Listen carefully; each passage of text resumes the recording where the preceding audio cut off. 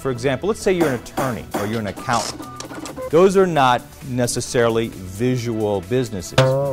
But if I go to a typical attorney's website, I have to read the bio and I read the page and I read more pages and if there are a lot of partners, there's a lot of text to read, or an accountant, the same thing.